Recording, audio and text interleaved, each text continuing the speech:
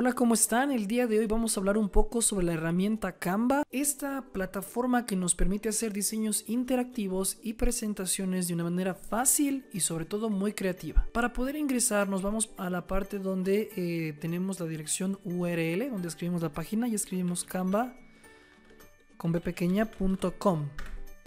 automáticamente nos va a llevar a esta página de aquí, ¿ok? Si ustedes tienen cuenta, pues simplemente inician sesión, pero en el caso de que no tengan cuenta, hacemos clic en registrarse. La mejor forma de registrarse, si usted tiene cuenta de Google, utilice su cuenta de Google. Ahí están sus datos, solamente le dan clic y empezamos.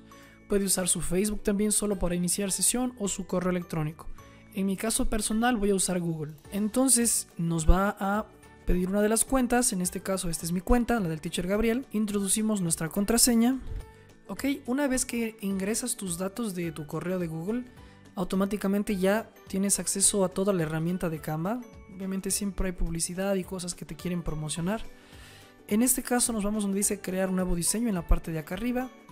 Y ustedes pueden elegir si quieren hacer un documento, una pizarra online, una presentación, un video, una infografía, un post para Instagram, carteles, documentos, logos, historias, currículo, tarjeta gráficos, lo que ustedes quieran hacer, incluso tamaños personalizados, si quieren hacer un cuadrado o editar una fotografía incluso. En este caso muy personal vamos a hacer una presentación, que es la razón por la cual estamos aquí.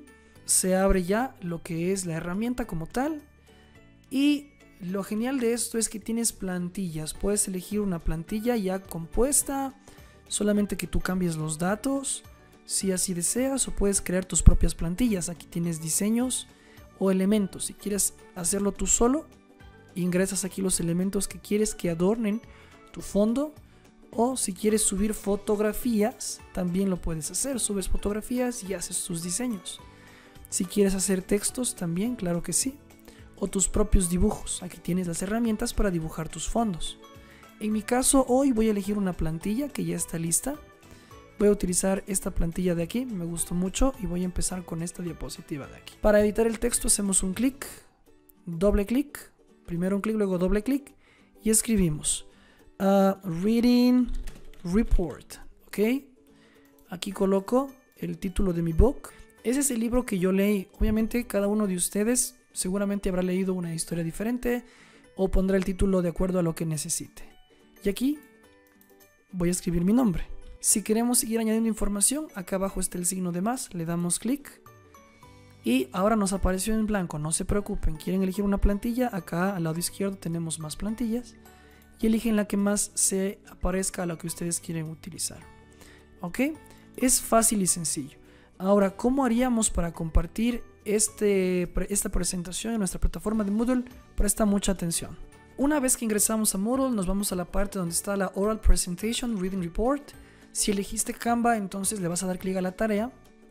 Y una vez que le des clic a esta tarea, yo le puse por favor que solamente se permite texto en línea.